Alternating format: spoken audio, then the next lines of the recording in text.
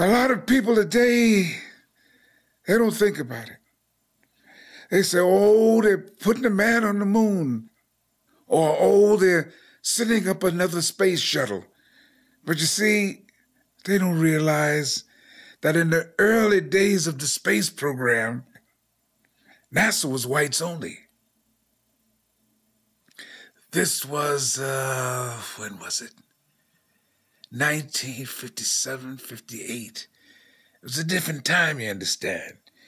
See, in 1957, if you were black and if you were an astronaut, you were out of work.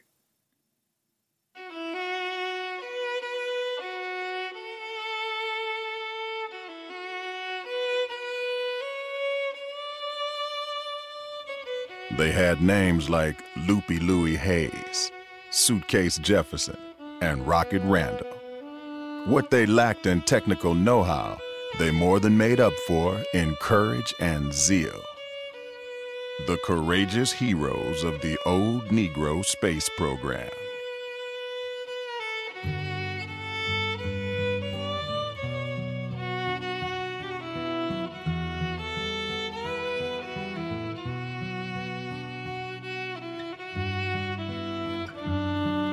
It started like any old thing, I suppose.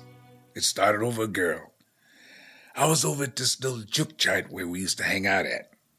And I was making time with this cute little thing, cute little stuck up thing named Alita Monroe, who I later on married. She told me she couldn't be with a man who didn't have no job. So I called up my best friend Louis Hayes. I said, Louis, where can a Negro get a job? It was a different time, you understand. 1957 58. So Louis said he heard that they were forming a new government agency. So the both of us went down to NASA. But to our surprise, they weren't hiring any Negroes at NASA. It was a different time, you understand. It was a different time. 1957 or 58. America's love affair with racism was in full swing. NASA was no exception.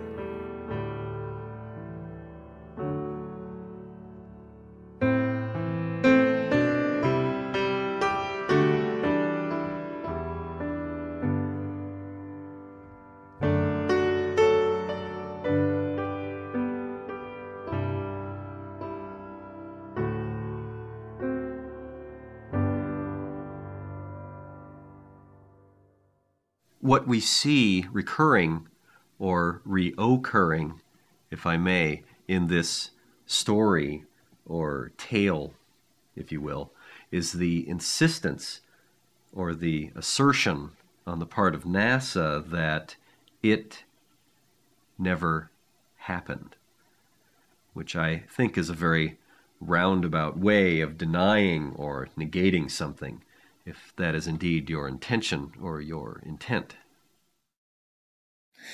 We was young and we didn't know nothing. But we wasn't gonna let nobody tell us we couldn't do it. So we put together our own gig, got ourselves some uniforms, and I told Alita Monroe that I was working for NASA. The Negro American Space Society of Astronauts. Got laid that very night. The uniforms were stitched by hand. The rockets, cobbled together from NASA's discards.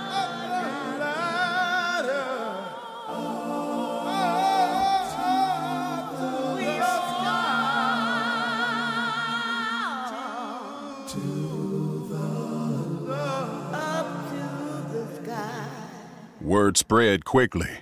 By the summer of 1960, NASA had over 240 black astronauts. White NASA was beginning to take notice. Kennedy was aware of the Negro space program and very much against it, uh, his stance on civil rights notwithstanding. One can only imagine, as, as terrified as the administration was, of losing the space race to the Russians, they were 10 times more terrified of losing it to the Negroes. As Washington fumed, Harlem celebrated. The ragtag group of black blackstronauts were becoming minor celebrities, traveling from town to town, staging launches to raise money, endorsing local businesses, their exploits glorified in song. Oh, there goes Loopy Louie. Where's he going, friend? If I know Loopy Louie, he's shooting up again. Is That right? He's shooting up again. Don't tell me. He's shooting up again. Oh, shit. For a time, it seemed the Negro space program could do no wrong. But there were casualties. With their cloth spacesuits and their makeshift rockets, blackstronauts faced far greater hardships than their white counterparts. A week into his first orbital mission, Sullivan Carew wrote home to his wife in Smithfield. Dear Sarah, the indications are very strong that I shall attempt reentry tomorrow. And lest I shall not be able to write you again, I feel impelled to write a few lines that they may fall under your eye when I am no more. It sure is fucking cold up here. Yes, sir. I about froze my motherfucking nuts off. God damn. Space is one cold motherfucker. Sarah, my love for you is deathless. It seems to bind me to you with mighty cables that only omnipotence can break. But shit, woman, it is cold as fuck up here. Sullivan Carew died two days later upon reentry. Even so, casualties did not slow down black NASA as they did white NASA. Here we have a tale of two very different cultures or cultural settings, if I may. For example, when the Apollo 1 astronauts blew up on the launch pad, there was an investigation and a congressional hearing, and so on and so forth. Uh, by contrast, when the Negro astronaut Peter Stinky Pete Carver caught fire in a church parking lot in Elgin, Illinois, they just casually extinguished him and he was ready for another launch the next morning. Before long, Washington had had enough. But the Negro space program was not easily shut down. At this point or juncture, NASA goes ahead and poaches some of the lighter skinned black astronauts. And to a certain extent, this worked quite well. Uh, Gordon Cooper, Buzz Aldrin could pass for white.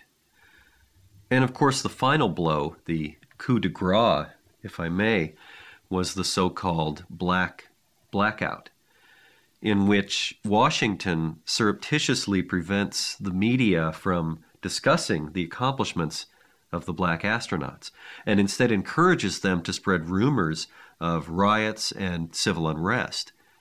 In fact, much of the news we read in those days was all part of a well orchestrated diversion or misdirection, if you will the lesson here, I think, is that people believe what they want to believe.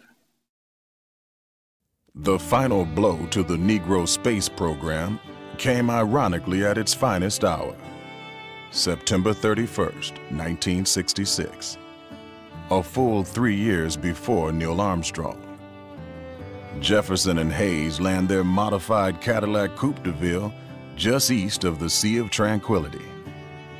But because of the black blackout, the accomplishment is completely buried by the mainstream media.